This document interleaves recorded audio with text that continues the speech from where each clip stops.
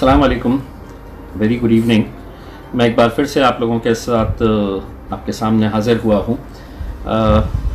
कुछ बातें बोलने से पहले मैं आप लोगों को बता दूँ कि कोरोना वायरस अभी पूरी तरह से ख़त्म नहीं हुआ है। केसेस दिन ब दिन बढ़ते जा रहे हैं। हम सबको मिलकर इसके बारे में बहुत गौर से सोचने की ज़रूरत है। बहुत गंभीरता के साथ इसके ऊपर ख्याल करने की ज़रूरत है, क्योंकि हॉस्पिटल्स के अंदर अब बेड्स नहीं मिल रहे हैं। सारे प्राइवेट हॉस्पिटल्स के जितने भी बेड्स हैं वो ख़त्म हो गए हैं। लेकिन आज मैं करोना वायरस के ताल्लुक से बहुत कुछ नहीं कहने के लिए आया हूँ। एक ऐसी बात आप लोगों के सामने रखने के लिए पिछले सत्रह सालों से मैंने खुद अपनी आँखों के सामने अ, उस घटना को देखा है और उसके बदलते स्वरूप को मैं पिछले सत्रह सालों से देखता हुआ आ रहा हूँ।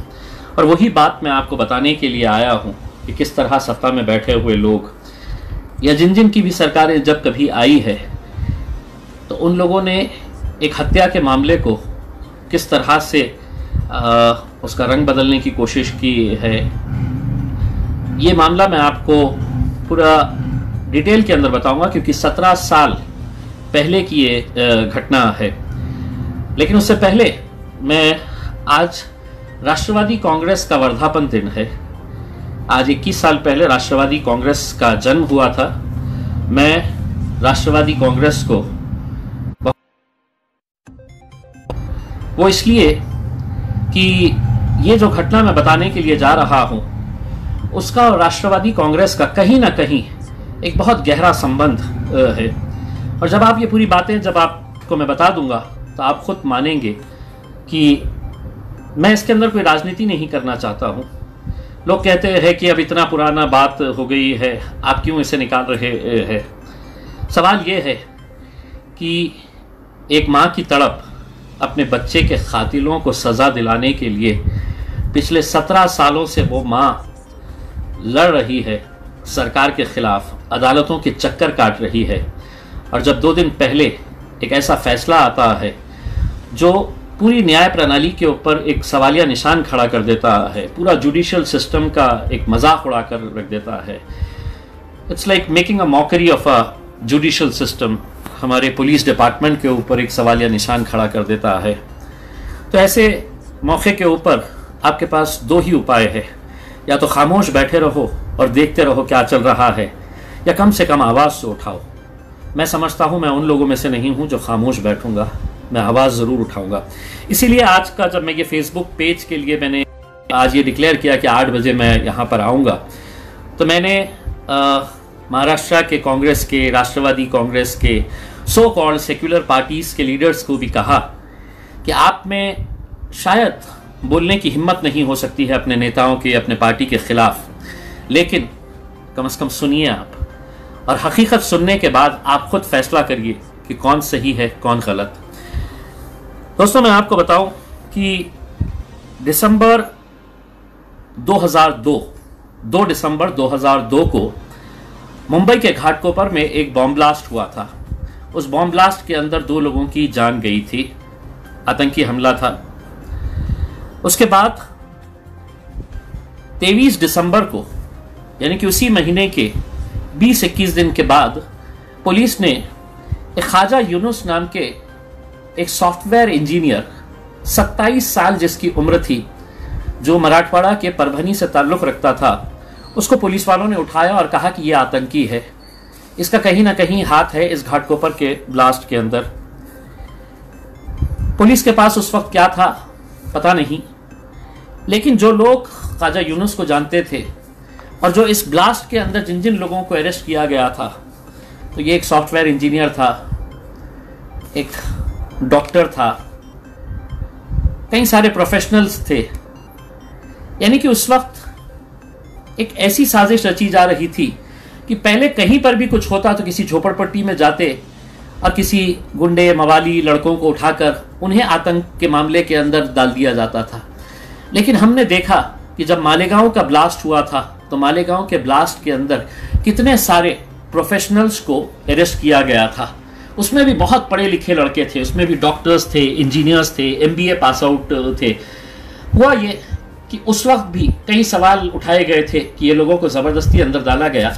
हमने खुद ने सवाल उठाए थे, उस वक्त मैं पत्रकार था और मैं भी जानता था कि ये लोगों को ज़बरदस्ती उठाया गया। और हकीकत वही हुआ कि आखिर में आठ साल जेल में काटने के बाद मालेगांव के वो आठ नौ लड़कों को अदालत ने बाइज्जत बरी किया, रिहा हो गए। ये जो मामला था ख्वाजा यूनुस का, जब तेईस तारीख के दिन इसे अरेस्ट किया गया अरेस्ट करने के बाद इसके साथ और भी लड़कों को गिरफ़्तार किया गया था। घाटकोपर पुलिस स्टेशन में इन्हें लेकर लेकर आया गया और घाटकोपर पुलिस स्टेशन के अंदर इन्हें थर्ड डिग्री टॉर्चर किया गया था। थर्ड डिग्री टॉर्चर मतलब इस तरह से इन्हें मारा गया था। ख्वाजा यूनुस का जब टॉर्चर किया जा रहा था, ख्वाजा यूनुस को जब मारा जा रहा था पुलिस वालों की तरफ़ से तो उसी के बाजू के जो एक हॉल था जिसके जिसके बीच में सिर्फ़ एक कागज़ का एक खिड़की के ऊपर एक कागज़ लगा हुआ था। यानी कि जब किसी को टॉर्चर किया जा रहा था तो बाजू के कमरे में पूरी आवाज़ें आ रही थी और उस बाजू के कमरे में एक डॉक्टर था, जिसे इस केस के अंदर अरेस्ट किया गया था। वो खुद सुन रहा था कि किस तरह से इसे मारा पीटा जा रहा था। और इतना मारा गया था उसे, ख्वाजा यूनुस को, कि उसने खून की खे कर दी थी। खून की वॉमिटिंग उससे हो गई थी। और उसी दौरान उसी दौरान उसकी मौत हो गई। उसकी मौत होने के बाद यह हुआ कि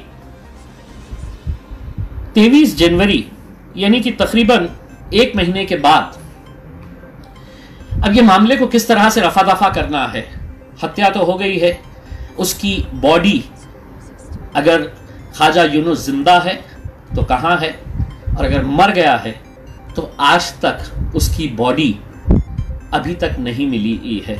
स्वाभाविक है कि उसकी माँ ने, उसके पिताजी ने, उसके वालिद ने अदालत के अंदर एक अपील दायर की और ये कहा कि हमारा बेटा डिसअपियर हो गया है।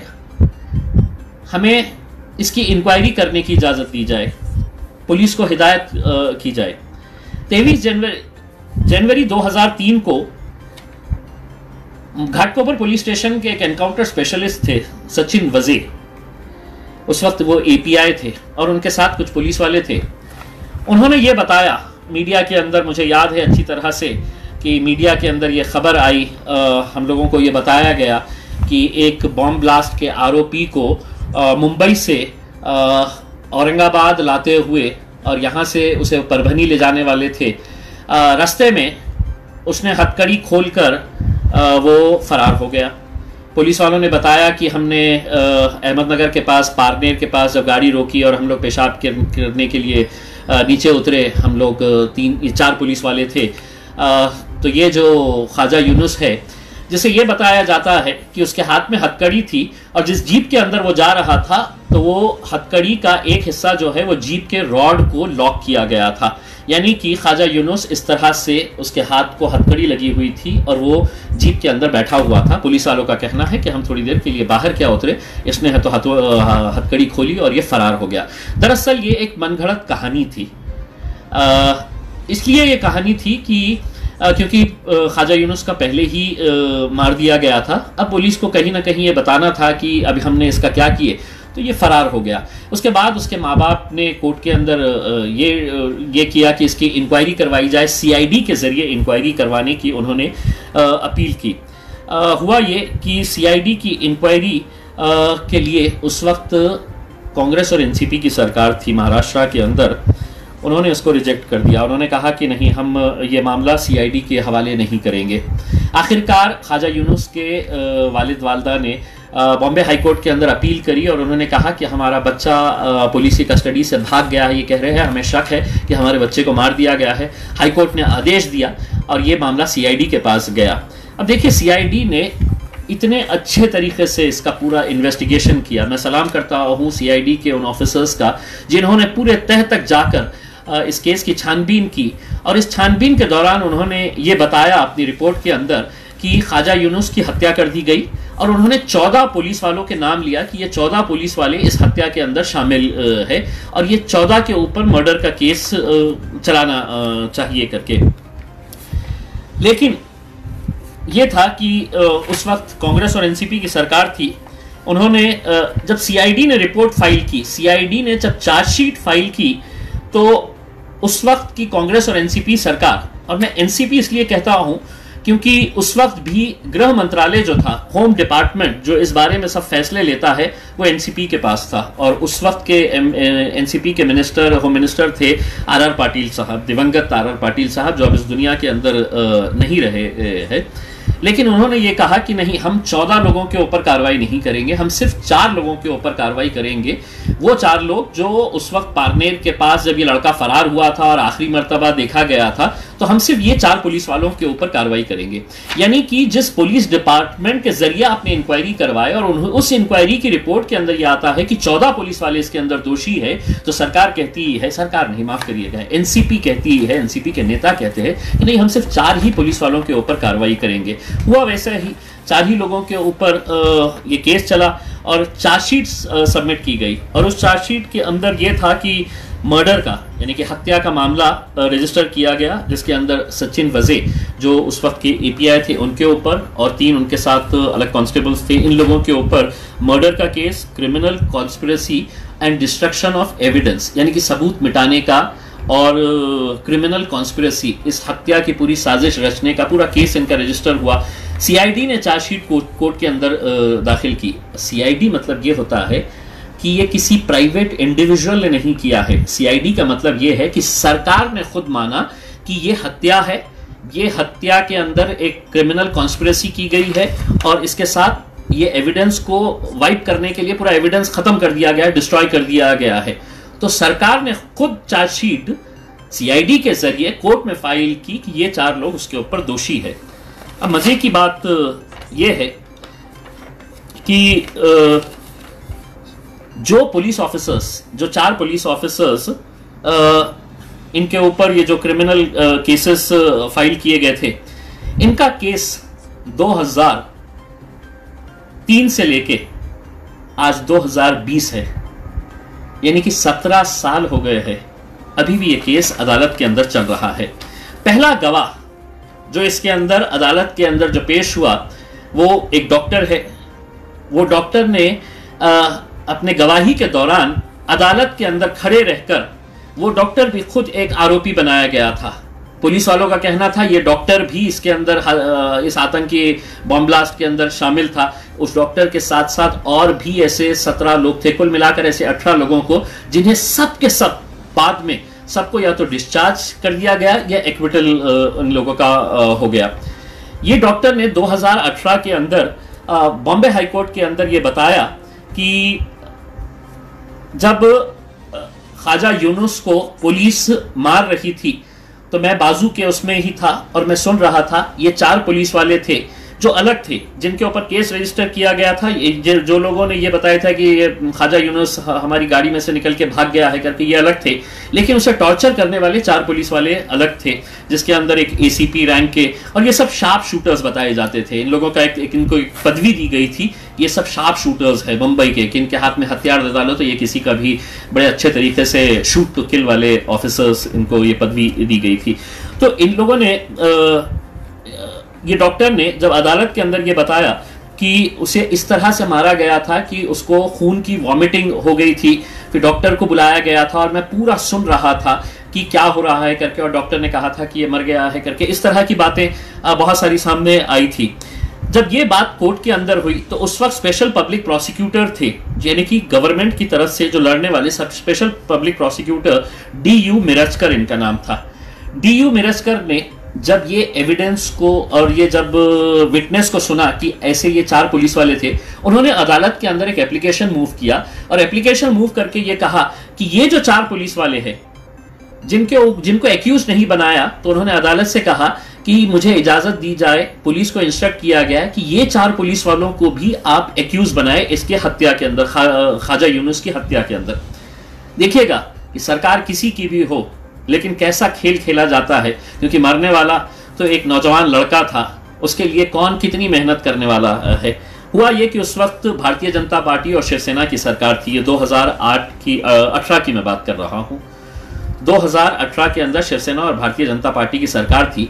जब मिरजकर, जो स्पेशल पब्लिक प्रोसिक्यूटर है, उन्होंने अदालत के अंदर ये फ़ाइल किया एप्लीकेशन कि, ये पुलिस वालों को भी आरोपी बनाया जाए तो उन्हें फ़ौरन एक महीने के अंदर उस पद से हटा दिया गया। यानी कि जो सरकारी वकील ये केस की पैरवी कर रहा था और बहुत अच्छे तरीके से कर रहा था उससे कहा गया कि नहीं, अब आप यहाँ से इस केस में आप इंटरेस्ट मत लीजिएगा, अब आप जाइएगा करके। उन्हें इस केस में से बाहर निकाल दिया गया। उसके बाद यह हुआ कि स्पेशल पब्लिक प्रोसिक्यूटर जो था स्पेशल पब्लिक प्रोसिक्यूटर की जगह महाराष्ट्र गवर्नमेंट ने, शिवसेना और भारतीय जनता पार्टी की गवर्नमेंट थी 2018 के अंदर उन्होंने एक chief public prosecutor of sessions court जो है उन्हें अपॉइंट कर दिया, ये मिरजकर साहब की जगह के ऊपर एक चीफ पब्लिक प्रोसिक्यूटर को। जबकि 2014 का कानून ये कहता है हाई कोर्ट का ऑर्डर है कि अगर कहीं पर भी किसी कस्टोडियल डेथ अगर किसी की होती है तो उसके लिए स्पेशल पब्लिक प्रोसिक्यूटर ने ही केस लड़ना चाहिए। ये मेरा ऑर्डर नहीं है, ये किसी और का ऑर्डर नहीं है, बल्कि उसी है कि 2014 का ये ऑर्डर है कि जिसके अंदर अगर कस्टोडियल डेथ किसी को मार दिया जाता है, पुलिस के लॉकअप के अंदर या पुलिस के हाथ से किसी की हत्या हो जाती है तो स्पेशल पब्लिक प्रोसिक्यूटर तो उसको दरकिनार किया गया। अब हुआ ये कि ख्वाजा यूनुस की माँ ने हाँ ये बताना मैं भूल गया कि इन सत्रह सालों के अंदर अगर ख्वाजा यूनुस के लिए कोई लड़ रहा था तो उसके बुज़ुर्ग माँ, उसकी बुज़ुर्ग माँ और उसके बुज़ुर्ग बाप थे।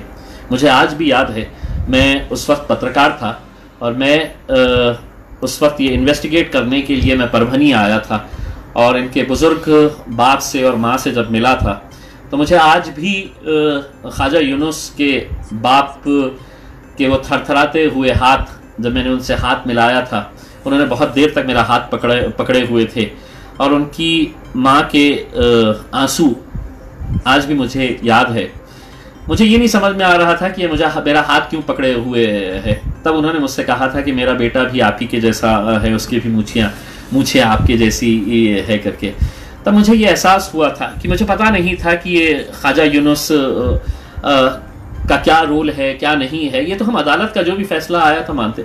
लेकिन उस माँ बाप की तड़प को मैंने देखा था और मुझे आज भी याद है कि ख्वाजा यूनुस के बाप ने मुझे टीवी के ऊपर एक बात कही थी, मेरे कैमरे के ऊपर एक कहा था कि बेटा, अगर मेरा बेटा, अगर एक परसेंट भी, अगर आतंक के मामले के अंदर या दहशतगर्दी के मामले के अंदर अगर ये रहेगा तो मैं आपसे गुजारिश करूँगा कि सरकार मुझे इतनी इजाज़त देना कि मैं अपने बेटे को फांसी के ऊपर लटकाऊं करके। लेकिन दोनों माँ बाप ने बिलक बिलक कर रोते हुए मुझसे ये कहा था कि हमारा बेटा बेकसूर है, उसे ज़बरदस्ती के फंसाया जा रहा है करके। और उस वक्त मैंने उनसे एक पत्रकार की हैसियत से मैंने उनसे ये कहा था कि मैं आपकी पूरी मदद करूँगा। अगर आपका बेटा दोषी है तो यकीन उसे सज़ा होनी चाहिए। और अगर नहीं है तो यकीन मैं आपकी पूरी मदद करूँगा। इन सत्रह सालों के अंदर, जब ये दोनों माँ बाप अपने बेटे के लिए, इंसाफ के लिए लड़ते रहे, उसी दौरान बाप का देहांत हो जाता है। ख्वाजा यूनुस के बाप का इंतकाल हो जाता है, वो इस दुनिया को छोड़कर चले जाते हैं। अब यानी कि सत्रह साल हो गया है, लेकिन आज भी उनकी माँ आसिया बेगम ख्वाजा यूनुस की माँ, जिसकी उम्र मैं समझता हूँ कि सत्तर पचहत्तर साल होंगी, लेकिन आज भी वो ये केस को लड़ रही है। ये कि इस उम्मीद के ऊपर लड़ रही है कि मुझे कहीं ना कहीं इंसाफ ज़रूर मिलेगा। मेरे बच्चों के खातिलों को मैं सज़ा ज़रूर दिलवा, दिलवाऊँगी करके। इस उम्मीद से वो अदालत में ये केस दायर की है। लेकिन देखिएगा, इस देश का कानून कैसा है कि सत्रह साल होने के बावजूद भी एक माँ अपने बच्चे को कानून नहीं दिला सक रही है, इंसाफ नहीं दिला सक रही है। बल्कि उल्टा क्या उसे दिया गया है? तो सुनिए आप। अभी दो दिन पहले महाराष्ट्र सरकार ये फैसला लेती है। और महाराष्ट्र सरकार ने बीच का एक एक लिंक इसमें से ये टूट गया था कि 2008 के अंदर यही जो इंस्पेक्टर है, सचिन वजे ये अपनी नौकरी से इस्तीफा दे देते हैं।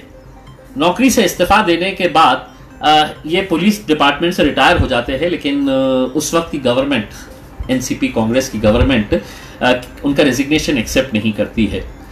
तो ये जो साहब है इंस्पेक्टर सचिन वजे ये रिजाइन करने के बाद 2000 ये 2000 शिवसेना को ज्वाइन कर लेते हैं ये।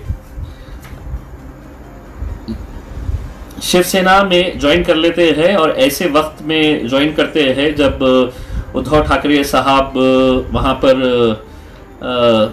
आ, उनकी पहली रैली मुंबई की जब होती है सचिन वजय साहब शिवसेना ज्वाइन करते हैं 2008 के अंदर। दशहरा रैली शिवसेना की बहुत धूमधाम से बहुत बड़ी रैली मुंबई के अंदर निकली निकली जाती है। बहुत बड़ा जुलूस होता है। साल भर शिवसैनिक उस दिन का इंतज़ार करते हैं कि दशहरा रैली के अंदर क्या होगा। और उस दशहरा रैली के अंदर सचिन वजेश शिवसेना ज्वाइन कर लेते हैं। यानी कि एक बात तो तय है कि अभी जो सरकार बैठी है, वो शिवसेना की है। मारा जिस वक्त गया था, उस वक्त एनसीपी और कांग्रेस की सरकार थी। तो कहीं ना कहीं किसी ना किसी का रोल ज़रूर है इस सत्रह साल पुराने केस के अंदर। अब हुआ यह है कि दो दिन पहले आ, सरकार ये फैसला करती है कि ये जितने भी चार पुलिस वाले हैं ये चारों पुलिस वालों को दोबारा नौकरी के ऊपर रखा जाए और ये चारों के चारों पुलिस वाले अब मुंबई पुलिस के अंदर दोबारा ज्वाइन हो गए हैं। दो दिन पहले ही इन्हें अपना पत्र दे दिया गया है ये ड्यूटी ज्वाइन भी कर लिए है। अब आप सोचिएगा कि जिनके ऊपर हत्या का मामला है, जिनके ऊपर उन्हीं के डिपार्टमेंट की सीआईडी रिपोर्ट कहती है कि ये लोग मर्डर में इन्वॉल्व है क्रिमिनल कॉन्स्परेसी है और इनके ऊपर एविडेंस को नष्ट करने का आरोप है। वही सरकार इन्हें दोबारा पुलिस डिपार्टमेंट के अंदर शामिल कर लेती है। आप सोचिएगा कि उस माँ के ऊपर क्या बीत रही होगी, जो माँ सत्रह सालों से इंतज़ार कर रही थी कि मैं अपने बच्चे के खातिलों को मैं सज़ा दिलवाऊँगी और उन्हें ये फैसला। अब सवाल यही है कि 2003 में जब इसकी हत्या हुई थी, उस वक्त आर आर पाटिल साहब थे, राष्ट्रवादी कांग्रेस के। और इस बार जब ये फैसला लिया गया है तो भी राष्ट्रवादी कांग्रेस के पास ही गृह मंत्रालय है, होम डिपार्टमेंट है, अनिल देशमुख साहब है, बहुत अच्छे आदमी है। उन्होंने ये फैसला लिया है कि अब हम ये पुलिस डिपार्टमेंट के अंदर, ये चारों पुलिस वालों को हम नौकरी के ऊपर रख लेंगे करके। मेरा यही सवाल है कि क्या देश में कानून इस तरह से चलेगा? एक इंसान की परभनी के एक छोटे से घर में रहने वाला एक सॉफ्टवेयर इंजीनियर जिसके बहुत सारे ख्वाब थे, जिसके माँ बाप ने इतनी मेहनतों के साथ उसको पढ़ाया, लिखाया था, सत्रह साल तक वो एक इंसाफ की गुहार लगा रहे हैं। उसकी माँ ने अदालत के अंदर जब ये फैसला, जब ये फैसला लिया सरकार ने कि हम स्पेशल पब्लिक प्रोसिक्यूटर को हटाकर चीफ पब्लिक प्रोसिक्यूटर को अपॉइंट कर रहे हैं। तो उसने माने है तो फिर कोर्ट के अंदर अपील डाली कि नहीं हाँ इसको है तो स्पेशल पब्लिक प्रोसिक्यूटर ने ही लड़ना चाहिए करके। 2018 से वो मामला बॉम्बे हाई कोर्ट के अंदर प्रलंबित है, यानी कि वो पेंडिंग है। और साथ ही साथ, उसकी माँ ने, जब सीआईडी ने यह कहा था कि इसके अंदर चार लोगों का हाथ नहीं है, चौदह पुलिस वाले इसके अंदर शामिल है। तो एक अपील सुप्रीम कोर्ट के अंदर भी दायर की गई थी कि ये चौदह के चौदह को आरोपी बनाया जाए। सुप्रीम कोर्ट में भी ये मैटर पेंडिंग है। आप सोचिएगा कि इस देश की न्याय प्रणाली, हम बहुत इज़्ज़त करते हैं और आखिर में हमको यही कहना है कि अगर इस न्याय प्रणाली के ऊपर अगर विश्वास लोगों का खत्म हो जाएगा, अगर जुडिशियल सिस्टम के ऊपर अगर लोगों का विश्वास खत्म हो जाएगा तो लोग आखिर जाएँगे कहाँ? हमारी जुडिशरी को हम बहुत रिस्पेक्ट करते हैं। लेकिन जब ऐसी बातें सामने आती है तो कहीं ना कहीं हमको सवाल उठाने पड़ेंगे। मैं मुंबई के पुलिस कमिश्नर परमबीर सिंह साहब से ये कहना चाहूँगा कि सर, आपका ऑर्डर है। आपने उनको ये लेटर दिया है। मैं आपसे सिर्फ़ ये विनती करना चाहूँगा, एक लड़के के हत्यारों का फैसला अदालत से आने दीजिएगा। आप जो वर्दी पहनकर जिस पोस्ट के ऊपर बैठे हैं मुंबई पुलिस कमिश्नर की, बहुत ऊँची पोस्ट है, सर। बहुत ऊँची पोस्ट है, बहुत ऊँचे अहदे के ऊपर बैठे हैं। लेकिन अपने पॉलिटिकल मास्टर्स को खुश करने के लिए अगर आप इस तरह के फैसले लेंगे तो यकीन मानिए, आप पूरे पुलिस डिपार्टमेंट की उस वर्दी के ऊपर कहीं ना कहीं एक ऐसा दाग लगा रहे हैं जिसकी हम बहुत इज़्ज़त करते हैं। हम पुलिस डिपार्टमेंट की बहुत इज़्ज़त करते हैं, लेकिन परमवीर सिंह साहब, आपको भी ये सोचना चाहिए कि क्या आपने ये जो फैसला लिया है, क्या ये सही फैसला है? अगर आप इस तरह के अगर फैसले लेंगे तो लोग इंसाफ के लिए जाएँगे कहाँ? आप तो मुंबई पुलिस कमिश्नर के सबसे बड़े सुप्रीम बॉस है। आप किसी ना किसी को तो खुश करने के लिए, या तो आपने अपने गृह मंत्री अनिल देशमुख को खुश करने के लिए, या अपने मुख्यमंत्री उद्धव ठाकरे साहब को खुश करने के लिए आपने ये फैसला लिया है। लेकिन आप किसी पॉलिटिकल पार्टी से बंधे हुए नहीं है। आपको you will have to go by the rule book और रूल बुक यही कहता है, जो सही है, आपको उसके साथ खड़े रहना पड़ेगा। मैं तमाम लोगों से यही अपील करना चाहूँगा। कि बहुत सारे लोगों ने मुझसे ये कहा, जब मैंने ये कहा कि मैं आज आठ बजे एक अलग मामले के अंदर सामने आने वाला हूँ, कि आप क्यों इस बारे में कह रहे हैं? कुछ लोगों ने कहा कि भाई, कोरोना के बारे में कहो इतने सारे लोग मर रहे हैं। मैं मानता हूँ कि कोरोना उतना ही गंभीर विषय है। उसके बारे में भी चर्चा होनी और हम चर्चा करते रहते हैं। लेकिन इस बारे में बात कौन करेगा? क्यों खामोश बैठे हैं वो लोग? क्यों आवाज़ नहीं उठा रहे हैं? वो लोग, जो मुसलमानों के वोट तो चाहती है, कांग्रेस और एनसीपी के वो लोग जो अपने आकाओं के पीछे है। सिर्फ़ एक छोटे से अहदे के लिए, एक छोटी सी पोस्ट के लिए क्यों अपने नेताओं से ये सवाल नहीं कर रहे हैं कि साहब आपने ये जो फैसला लिया है, क्या ये सही है, क्या ये गलत है? जिस दिन आप सवाल करना शुरू करेंगे तो यकीन मानो इस तरह की घटनाओं के ऊपर हम रोक लगा सकते हैं। वरना ख्वाजा यूनुस की बारी कल थी, आने वाले कल के अंदर हो सकता है कि किसी और की बारी भी आ जाए।